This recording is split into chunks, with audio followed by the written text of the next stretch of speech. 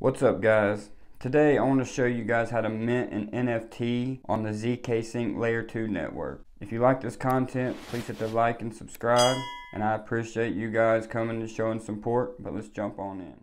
So here, where you want to start out at is the ZK Sync wallet. If you haven't had one set up already, set, go ahead and set it up. It's very self-explanatory. And all you got to do after you set it up is bridge some funds from mainnet Ethereum over.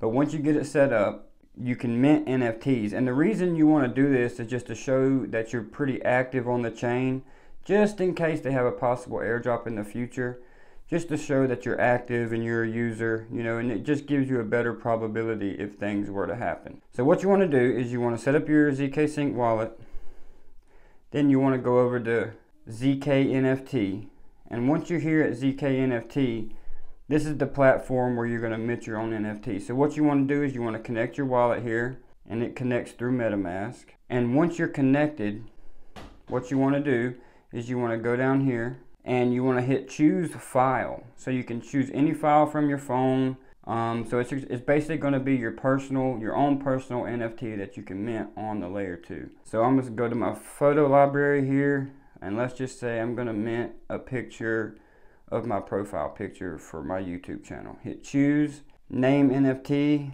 just put PFP or whatever you want to name it. I'm just going to put profile picture. Description, I'm just going to put the same thing to make it easier here.